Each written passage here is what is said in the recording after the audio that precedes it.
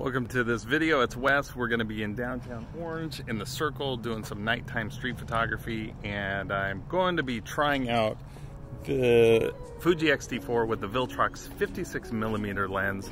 It's an f1.4 lens, so we're going to test it out at night. Looking forward to that. You're a beautiful person and you're a good person. And if no one has told you that today, let me be the first one to tell you that. All right, let's mask up. Let's get out there. Careful there. Happy holidays. Happy holidays. I always start with a few warm-up shots. There was a nice moon out with some clouds, and so I chose a preset look that was sort of cold or cool for most of these shots. And I found that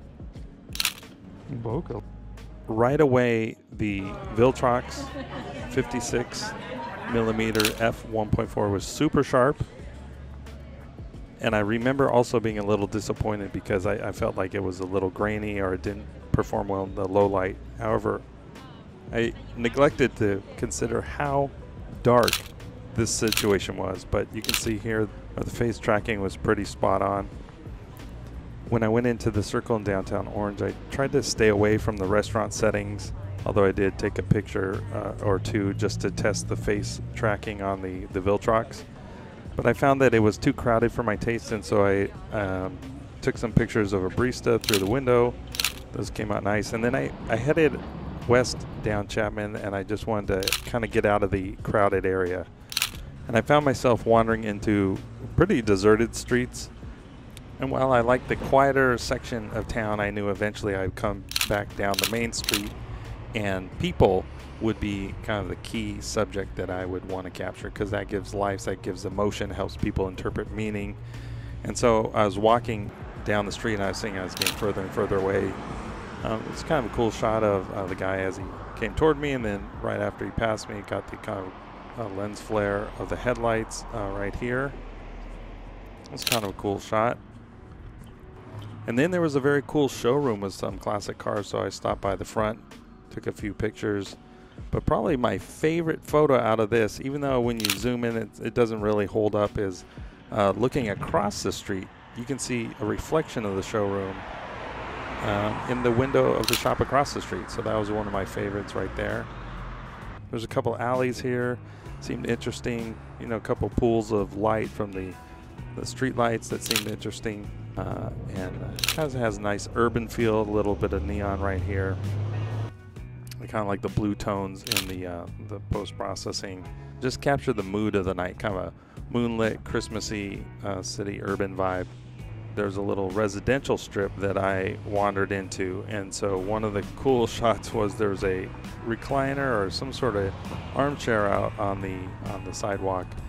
And so I crossed the street to get a better vantage point, and then I just like how the light hits the front of the house and the chair, and it looks cool and abandoned. Um, just kind of a, a little mood right there. Looks like a set of a movie. And then I headed down to uh, the corner. I knew I was going to head back down to the circle. And I found right when I swung around the corner, there's people staring at me. And so I kind of tucked my camera away and went past them. Um, but I found that these restaurants up here, I don't know if it got that much later since I've been walking, but they were less crowded. I did eventually find a couple of cool street scenes that I, I thought held up. I like this one, the guy checking his phone while waiting for his food.